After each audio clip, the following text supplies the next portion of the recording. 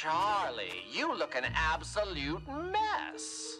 Ugh, go away, Alastor. Now, now, is that any way to act after picking a fight with all of heaven and dooming everyone you love? I have enough on my mind without hearing your sadistic idea of a joke. Who's joking? You have a captive audience downstairs waiting to hear what kind of inspiring performance you have planned next. Ugh, I can't. How can I face them after failing them all so hard?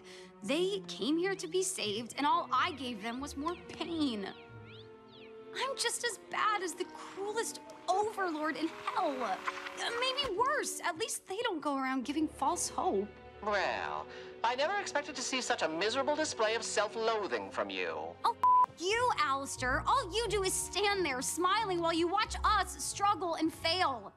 I don't know how you can enjoy all the suffering so much. Just because you see a smile, don't think you know what's going on underneath. A smile is a valuable tool, my dear. It inspires your friends, keeps your enemies guessing, and ensures that no matter what comes your way, you're the one in control. But I'm not. I'm the farthest thing from in control. The person I trust most has been lying to me for years. Heaven refuses to listen. Even if they did, I can't prove the hotel works. Adam has an invincible exorcist army pointed right at my doorstep, and there's nothing I can do about know something you don't know.